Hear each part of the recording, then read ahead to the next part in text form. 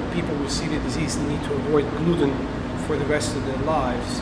But avoiding gluten not necessarily means uh, zero. In, in biology, this concept does not exist. You're approaching to zero. And, and the question has been always, where is that cutoff?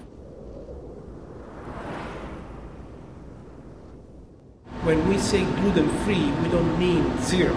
We mean underneath a threshold that your immune system cannot see the gluten because it's so minimal amount that definitely does not harm.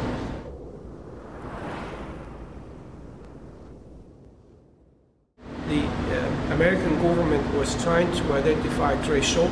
The Food and Drug Administration, that is the component of the government that, that was put in charge to implement this bill, was interested to understand what kind of threshold to embrace, and therefore we work in coordination. We did this prospective study in which people with celiac disease diagnosed, already died, were asked in a blind fashion to be exposed to either placebo or increasing dose of gluten